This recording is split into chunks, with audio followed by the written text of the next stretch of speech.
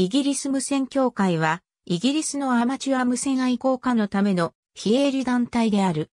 RSGB の主な業務は、イギリス政府の規制当局であるオフコムに対して、アマチュア無線化の利益を代表し、アマチュア無線化に技術的助言や支援を提供し、数多くの教育プログラムを支援である。RSGB には約22,600人の会員がいる。RSGB は多くの書籍と月間の機関誌、ラドカームを発行している。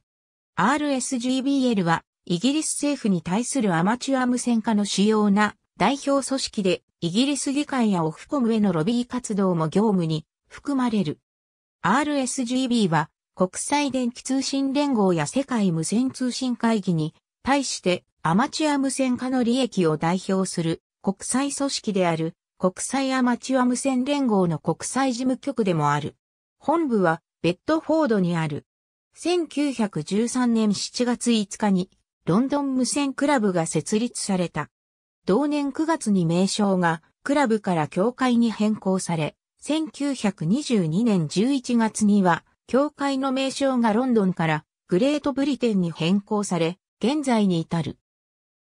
第二次世界大戦中はアマチュア無線の活動は禁止されたが、多くの会員が国内に潜伏する数軸国の諜報員たちが利用する無線通信の傍受に従事した。2011年には不正な経理が発覚して理事長が去った。2013年には結成100周年を迎えた。ありがとうございます。